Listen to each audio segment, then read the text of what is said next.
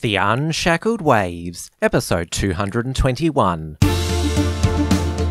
Broadcasting from Melbourne, Australia, this is The Unshackled Waves with Tim Wills, brought to you by theunshackled.net.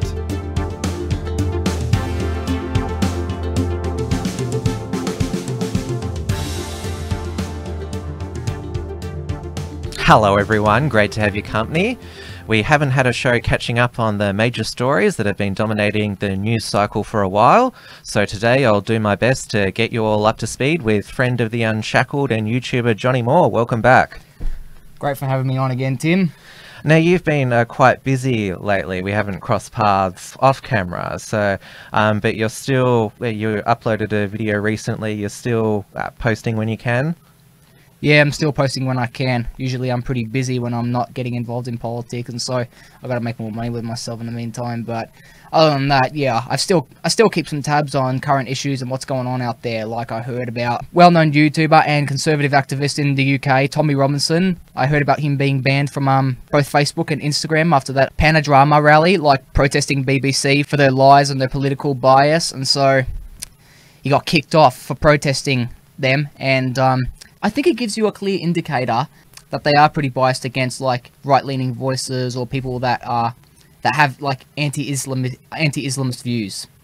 Yeah, and I think the great thing what uh, Tommy had done in the past few months was put out his own media. I mean, he's been in the, the public eye for, for nearly a decade now campaigning against the Islamization of Britain, and so he'd had many uh, run-ins with mainstream media, them putting out fake news about him, and of course the BBC is the the, the worst offender.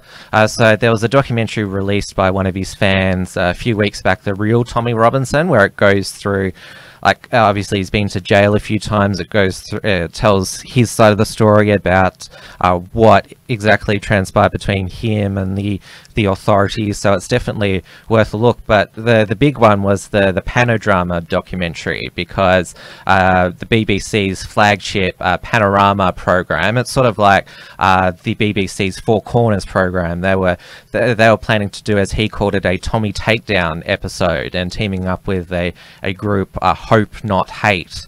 And uh, so they were planning to do this big expose, talk to all these all his enemies. And so Tommy, he fought back with his own documentary, Pano Drama, which uh, premiered uh, last last Saturday at a at a rally attended by by eight thousand people. And yeah, Tommy was was giving it right back to them. Oh yeah, definitely. Eight thousand people. That's probably more than we could um that's probably more than any um anyone here could probably um get gather or get together in terms of a um political movement here in um Australia and in Melbourne. I mean like 8,000 people. Yeah, he's truly got the media and he's basically got the globalists and the elite like they're terrified and um 8,000 people. There were other voices that came along here. I noticed there was um Avi Yemini from like down here down under. He went over there again like he usually flies over to um work and help those in the culture war that are on our side. But um, yeah, he went over there as well, and um, I think he thinks that he's going to get banned as well too off of, off of Facebook. Well, he's ba- well. been banned. He's had two pages gone already. He's on his third Facebook page. Mm.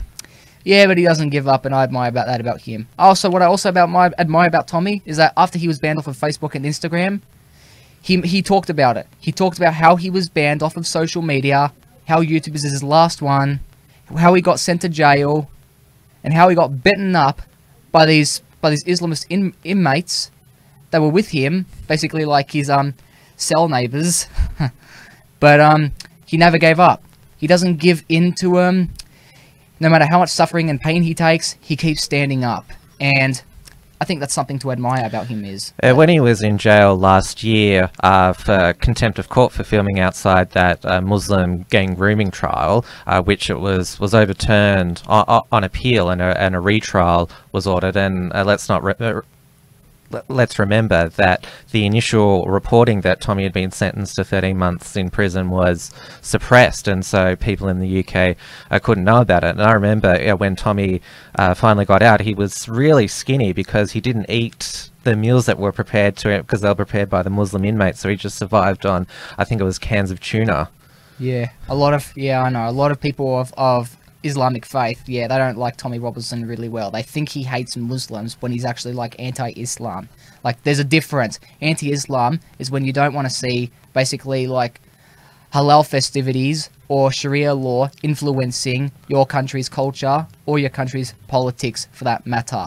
So anti-Muslim is like basically like saying like he doesn't want Muslims here over and that, but um, it's their ideology that he fights against, and um, everyone else they fight for him on that well with the same ideology. Like they're against it, they're against it, and um, yeah, there was nothing they could do when he was in prison. So those um Muslims that think otherwise, think he hates all Muslims. Yeah, they did. They they'd fed him like bad stuff, and so pretty much he only survived with cans of tuna, and he looked pretty thin when he come out. But right now, I hope he's like, I hope he's back on his like current weight track.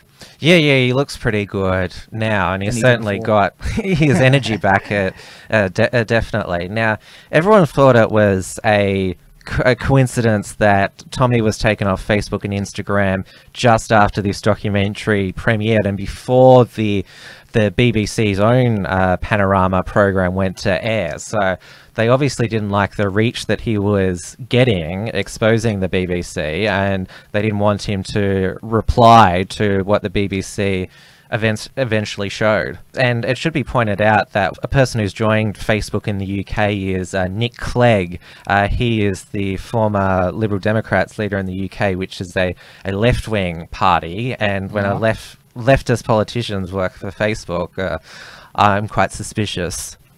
Yeah, I'm quite suspicious as well. I mean, like, think about it. Why else would Facebook and Instagram just ban them off immediately after the Panodrama rally? What? Why else? And why specifically Tommy Robinson and others that mention his name on social media? They get kicked off too. Yeah, there was a whole bunch of people yeah. who got uh, their profiles zucked. I know. They got zucked indeed. I think, yeah, something's not right here. Something's not right here, and I really do think there's something up with social media in terms of um, in terms of politics.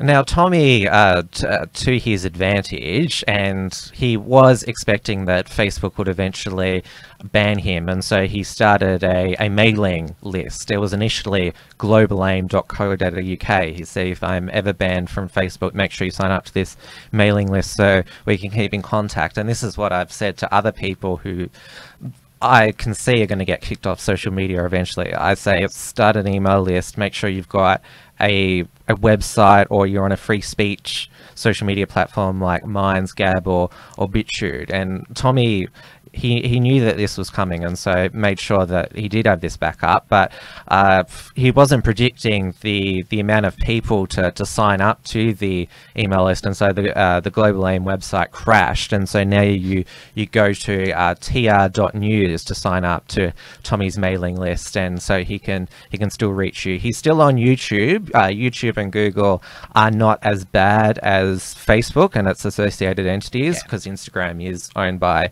Facebook as well. So he's he's still on uh, YouTube. He's still got a a mass platform, um, but who knows if if they'll go after him on YouTube as well. Yep, no one can know the future, but yeah, hopefully he still stays on for now. Like, hopefully he can keep on posting on YouTube or anything else because not a lot of people, some some of his followers may not even know how to use social media that well. And YouTube and Google, they're easier to get on and access like his um videos and what he talks about and his commentary. So, if if he gets banned off of YouTube or if he's not on Google anymore, then um some of those might not even know how to get into those um new accounts on different websites that aren't really well known that aren't that like you know popular in Mm. that t- in terms of um in media giants such as for YouTube, Facebook, Twitter, and so on, etc. Now he was already kicked off PayPal last December, and PayPal has joined the the deplatforming movement. They've also kicked off the, the the Proud Boys and Blair Cottrell from from PayPal. Those two groups, I should mention, have also been deplatformed from Facebook. Uh, Alex Jones, he's been kicked off everywhere: Facebook, Instagram, YouTube, Twitter, uh, Spotify, Apple. you name it. And just recently, Neil Erikson was kicked off of Facebook as well. So there's a growing list of right wing personalities who've been permanently banned from the platform, which just goes to show where fa- uh, Facebook, and it shouldn't surprise us that Facebook, because they have policies on hate speech. I mean, if you have a like, if you have a policy on hate speech, which is an entirely subjective term, uh, then we all know who it's going to go after. Well, yeah. Even like, even look, whether you, whether or not you agree with their politics or no matter what, everyone deserves the right to have your own opinion. It's a free country, and as a free country, social media is also free to use as well. Left wing, I believe, in my opinion, both the left, right, and center voices should be um like voiced out on YouTube as part of freedom of speech. When you're when I see more right wing like personalities getting banned off of like social media and Facebook and Twitter and everything, it just shows like the whole bias into from the social media again with the bias. Like I've seen Twitter posts that call for actual like pedophilia to become a human right, and they actually bring up the term that after nine months and the baby is literally about to come out of the stomach, as soon as the baby is born, the woman should have the right to kill it. And they say kill all babies, and those posts and those accounts don't get deleted. And they might just be like jerks, you know, jerks online, or maybe far left, or maybe even far right. But it's mainly right wing voices. Right wing voices mainly. They're usually the ones that get banned off, and not and they're not even the worst of it. And I'm um, like yeah, it's it's political bias, and um, a lot of people like us, and a lot of people in the um, patriot movement and in the culture war, they're speaking out against it, and I completely understand why now. Like, I've seen those posts. I don't think Twitter and that are doing their job. If you're gonna actually like ban someone, ban the actual extremists, not political voices or even people who describe themselves as you know politicians, because at the end of the day, everyone deserves the right to ha- say what they want to say. Yeah, I've seen those experiments where uh, somebody's posted an anti-white post on or Facebook, and they've reported it, and they've said, "Oh, it doesn't go against our community standards." Then they've posted an anti-black post, and then it says, "This is hate speech." yeah, I think it's a bit hypocritical. Probably social justice warriors. Now, as I said, Tommy will survive this. Well, he's got too big a following to simply, simply all these social media platforms deleting him. It's, it's not going to make him disappear. I mean, even when the, the courts suppressed that he was in prison, word word still got out. Everyone still knew, and and so Tommy, Tommy the man, and the movement behind him is, still unstoppable. And Tommy's wise because he's been been in this uh, activism for, for, so many years. So he's gonna he's gonna keep going and continue his activism, being able to to reach people through any barriers. Absolutely. I mean, I support him. He's not far right. He's not an extremist to me. I mean, like he's he's got plenty of people on his side that even like Israelis, Jews, and that, and he's partly a Zionist himself, and so I wouldn't consider that to be um far right either. And so, like, if the media is going to completely ban him, no matter what, he's still got my support.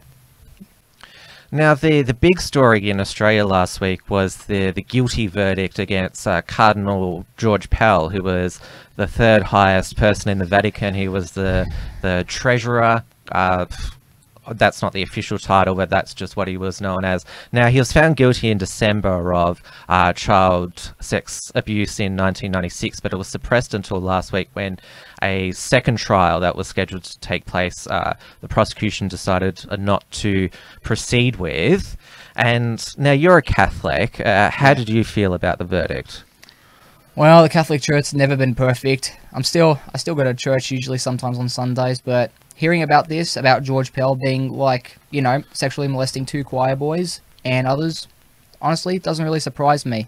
I do believe he's guilty, and I think it's shameful and disgraceful, and he's just another reason what's wrong with my church as well. Sometimes I can understand why pe- a lot of people are angry, and honestly, I don't really get why um such prominent fig- figures like in, in in conservative politics, such as Tony Abbott, Andrew Bolt, I don't I don't really understand why they're supporting him if he's a convicted felon in terms of pedophilia and sexually assault, molesting children and that. There's, there's plenty of Catholic priests that do that, and so count him as part of it as well. I wouldn't be so surprised. I mean, like I heard about this story just last week, and um, yeah, I wasn't surprised, but it's wrong. It's wrong, and I think he, I think he'll probably deserves his I think he deserves his time in uh, prison. It's certainly been a divisive verdict. As you mentioned, there's a lot of conservatives who've said that he's innocent and that the the probability that the crime took place, given that it was in a major, it was in St Patrick's Cathedral when on Sunday Mass when there was a lot of people there. They they're wondering how, given that there are all these people around, why would he do this when there was a huge chance he could he could get caught, and like the fact that it was in 1996 when he would have known that uh, child sexual abuse in the, the Catholic Church was coming becoming a prominent issue, and also the the two victims, uh, one of them is deceased, and so they've also pointed out that there's only one victim, and it was his testimony that uh, led to the the conviction. But as a lot of people have said, that there, there were two juries. The the first jury was a hung jury; they couldn't come to a verdict, so there was a retrial, and the second jury unanimously found him guilty and obviously they they they were convinced that beyond a reasonable doubt. And obviously, we haven't heard from this one remaining victim, but obviously he he was very convincing to the to the jury, and the fact that he he he's he's not this victim is not seeking infamy by pursuing this charge against Pell. He said, I don't want to be contacted. I don't want to be defined by this. Don't find out who I am. I'm a private uh, family person. And so he's certainly doing this because he wants to put this behind him. He's, he's not sort of wanting to put himself out there. I'm a, a victim of the Catholic Church. Yeah, I know. Sometimes it's not so easy for the victims themselves, and um, I understand they don't want all that media attention. But yeah, this this keeps happening and keeps happening. Like it's sort of trending, like this sort of thing that's happening in terms of um, Pell's testimony and of what the victim stated. And um, yeah, it's trending right now, and everyone wants to talk to the victims about how they're doing and what they think should happen and what their opinions are. But yeah, I understand why they don't want to be like in the cameras right now. Like what happened? Like yeah, I do believe it's a disgrace, and um, I think somewhere in the room at St Patrick's Cathedral, I think I heard about one in one of the rooms is where like Pell did it, so no one could hear, or no one could see because they do have some pretty thick walls there in church. Also, what factored into the verdict is that Pell is not a, a, liked figure in the public. He's described as having a, a cold demeanour. If you've ever heard him speak, he's he, he comes across as very dry. He doesn't show any emotion at all. And, and victims of childhood sexual abuse in the Catholic priests by Catholic priests have described dealing with with Pell as he was very defensive, didn't show them any sympathy. I think one uh, family described him as uh, sociopathic, and when he testified before the Royal Commission into Childhood Sexual Abuse, when he was asked about a, a case, there was a a line which which really uh, uh, uh, people took offence at where he said it was a sad story this sexual abuse and it wasn't of much interest to me which the whole hearing room was shocked when that was said. Well yeah because honestly like i think he was um i think he was lying. When they did call him a sociopath like in the in the way he did it like he showed no remorse and no feelings. Well yeah can you can you really blame him for that one? Like he has said that he's never done this before. George pell says like he's never he has feelings and that he's done this kind of things before. I'm sure deep inside he does. That's why he became a priest. And also, Pell's not liked uh, uh, by critics of the Catholic Church because he is a staunch conservative within the church on things such as abortion, homosexuality, climate change, and that's also why these conservatives have come to his defense. Well, they, they believe he's been targeted because he is a conservative. You mentioned Tony Abbott, Andrew Bolt, John Howard wrote a character reference for George Pell, and there was a line in there that said, uh, despite uh, these this guilty finding, it doesn't doesn't change my uh, view of the of the cardinal, which I think to say that it doesn't change your opinion on someone when they're being found guilty of sexual crimes against children, I think that's very insulting to the the victims. Yeah. Like it's it's one thing to say that you don't believe that he's guilty, but it's another thing to say if he is guilty, I still think he's a good person. Well, yeah, I see where I see where you're coming from on that one, but um, yeah, like if he even if he is conservative on politics and everything, like I am as such, for example, it doesn't mean you should um doesn't mean you should ignore the fact that he still did a very bad thing. And um, all sides of politics, whether or not, regardless of politics, you still got to call out the person who raped them. Rape is not is not a political issue. He did that thing, and um, I don't think you should just be defending him just because he's conservative. I think you should um, interrogate him a little bit more and um, address him for, and like for as to why he um did all this, as they did in court. Like you just don't you don't ignore you don't ignore them just because of their politics. You don't ignore their crimes. You just um you got to address them. That's what they did in court. And um there are other conservatives out there that are still like criticizing him for it, and they're still um and they're listening to what the victims had to say. This isn't a Me Too movement issue. It is um it is actually a real issue and it's and it's happening pretty it's happening pretty fast and pretty like recently. The the wider public reaction, because now it can be discussed on, on social media, has been very scathing and savage of Pell and the Catholic Church. There's been comments like "hang him from Federation Square," and I wouldn't say that the right is united in defending Pell. It seems to be the conservative establishment, the nationalist community. Hmm. They've been really angry about about this and ha have really laid into the, the, the Catholic Church. I don't think I've seen any nationalist uh, defend Pell. Yeah, yeah, yeah. I, I don't think I've seen any nationalists like defend Pell either. I mean, like, I understand why they're angry as well, but um, yeah, I've seen on the news as well. I think some people have been like, I think some people have spat at George Pell and saying that he should burn in hell for it. But um, yeah, I say let the authorities do their thing to him in prison and let him serve his time.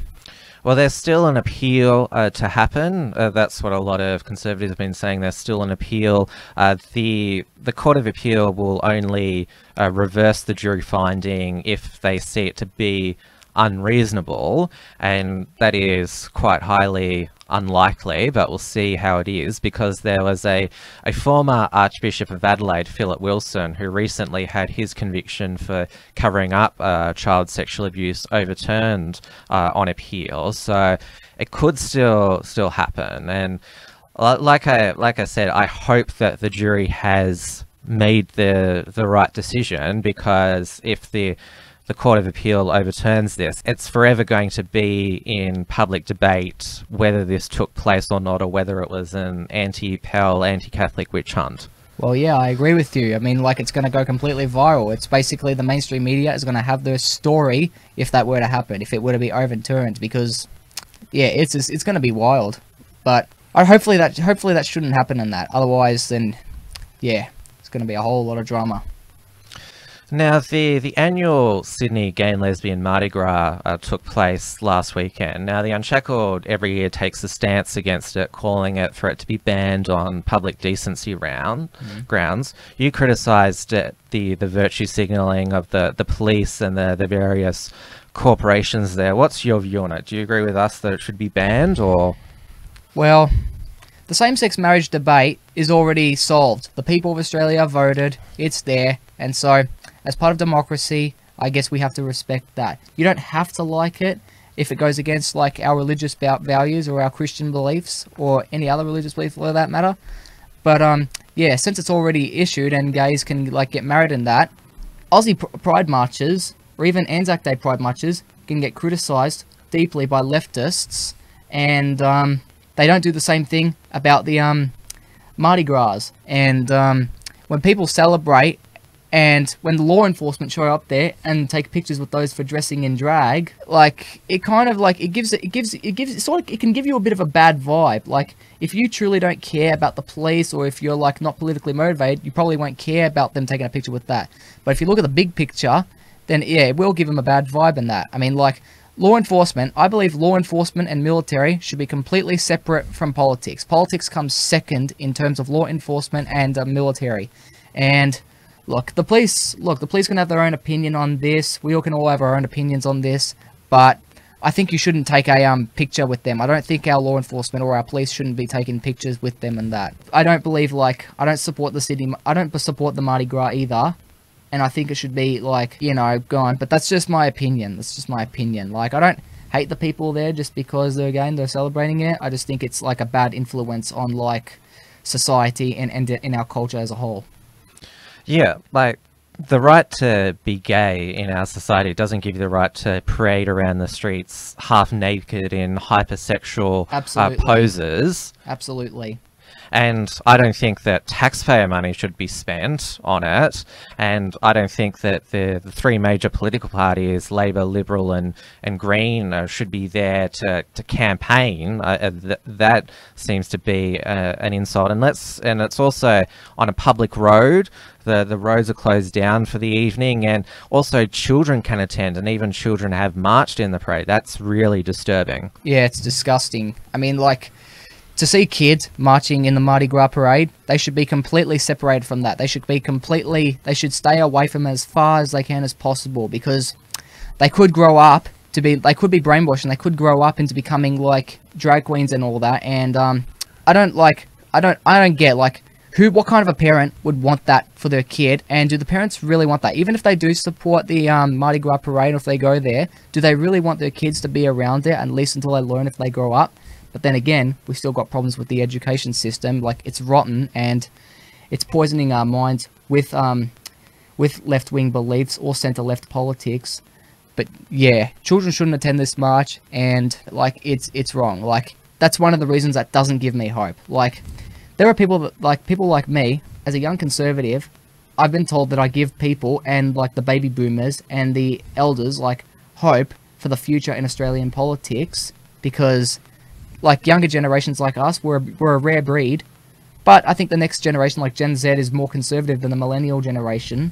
And, um, yeah, I guess, like, we won't let our kids make the same mistake in the, in the future when, if this continues to go on, or if it continues to increase, or if it continues to get any worse, because, yeah, it's, it's, it's wrong. Like, don't ever bring your kids there to the Mardi Gras. And the mainstream media was nothing but fawning over the event. They were like, oh, how wonderful is this celebration? Look how fun it is. There was no dissenting voice allowed to say, hey, I don't think this is an appropriate event to have in public. I don't think this is healthy for, for our society. And I mentioned the politicians before, pretty much it's shoved to us that oh, this event is great and uh, how could anyone possibly object to it? You can expect it from politicians and the mainstream media, but like back then, like over 20 years ago, or probably even before that, do you think do you think the mainstream media would have applauded it? Do you think they would have like found the Mardi Gras to be lauded? I mean, like, I'm confused. Like, as an in, from my, uh, from me at, at an individual level, I'm confused. Why do they even think about their kids or something? Like, do they think about their kids if they went to a Mardi Gras parade, or if they thought about anyone else like do they like understand the long-term effects of what a Mardi Gras can cause within Australian society because if you look at other countries like certain states in the United States in the United States uh, Italy uh, Russia and Turkey for example would they do this Mm. you don't see their law enforcement doing this and um, from what from my perspective it seems like they've got things they've got they got things under control over there. Like they can handle like situations pretty good and um, they can handle them with ease but it sort of makes us it makes us look it makes the law enforcement here look weak. Like i said it gives them a bad vibe. Like you look at what's going on with the british police the swedish. Yeah like it's a bit of a disease. It's a disease that's like inflecting across the west right now. Yeah, definitely. Now, I thought that we should finish off by doing a, a Trump update because there's always uh, news Love and Donald drama Trump. with uh, the Trump presidency. Now, his former lawyer, Michael Cohen, has has turned on him. Now, let's remember that Michael Cohen has pled guilty to uh, fraud, campaign finance violations, and lying to Congress. He was the one that paid off uh, Stormy Daniels during the, the 2016 presidential campaign to keep her affair with Donald Trump secret. Now, he testified before Congress this week, and that's what he was, he just pled guilty to. Lying to Congress, and now we're supposed to believe his testimony at Congress. And he pretty much didn't say anything of substance. He just said that Trump is a racist, he's a, uh con man, and he's a cheat. He's a sexist. He's a misogynist. yeah, yeah. What else could you expect from Michael Cohen anyway? Basically, it, it- it's it's sort of he's he's always been sort of a distraction from Trump's work as as the president of the United States. As an example, just recently, like days ago, Trump's over in Vietnam. He meets with the North Korean dictator Kim Jong Un himself. They meet again, hand to hand, have a discussion about denuclearizing the Korean Peninsula, which I think is a very great thing. At least Trump had a second summit with him. It wasn't as successful as the first one, but he still had a summit with him, and I highly doubt Barack Obama could ever get them to um go to a meeting and have a discussion about it. Kim Jong Un, he expected more from um Trump about it. He expected like all sanctions to be lifted. Maybe he thinks Trump is stupid, but I, tr- I don't trust Kim Jong Un. As an Australian citizen, I still don't trust well, him. he's the leader of a murderous totalitarian regime. I don't think you should trust somebody like that. And the North Koreans have a history of, of lying about their their their weapons program to uh, the West. This uh, conflict, or cold conflict, whatever you want to call it, has been going on for for 25 years. Yeah, I know, but that's why I agree. That's why I agree with the um summit, the summits. Like maybe they'll have a third summit or anything, but um, yeah, at least Trump talked to him, and at least Trump stood up like a real president. Like he didn't just take it, he didn't just buy his nonsense or anything else he was trying to say. He actually stood up and said that no, the, the sanctions will stay, and we will have to postpone and make another another summit at another time at a later date. Meanwhile, lawyer Michael Cohen, he's um, yeah, he testified in court. I mean, at, in Congress. Mm. Yeah, he testified in Congress, and apparently he was lying about everything. And yeah, I'm not surprised either. Like this, because up up until this day, the Steele dossier, which is the Russian investigation, dossier- Unverified. yeah, the unverified Russian invest interference in the US 2016 election. There's still no evidence of that, and there's no proof of that. If you haven't found evi- any evidence about Russia colliding or hacking US servers to influence the election, you won't find it ever. Like the sure, the Soviet Union used to had hacking. They used to hack other countries in the West like a while ago, and maybe the Russian Federation did as well. I don't know, but I don't think. Yeah, I highly doubt, and I actually believe 100% they didn't actually um hack the US election. It's very, very, very uncertain, and it's very unlikely. Michael Cohen, yeah, it was a, it was basically a circus what happened to him, and now he's going to jail for it. And I guess we can all laugh about it. Yeah, although it does go against Trump that he hired somebody like Cohen in the first place, who sat on the the Trump uh, organization board for, for 10 years.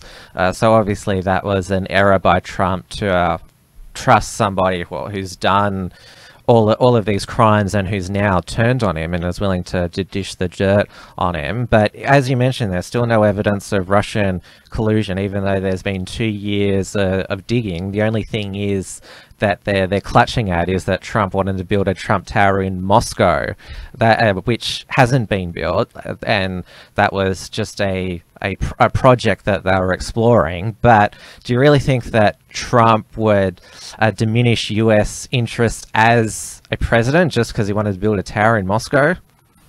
Well, building Trump towers, that was part of his business. This was before Trump became like involved actively on politics. He knew about politics and he's smart on it in terms of like American interests and American values.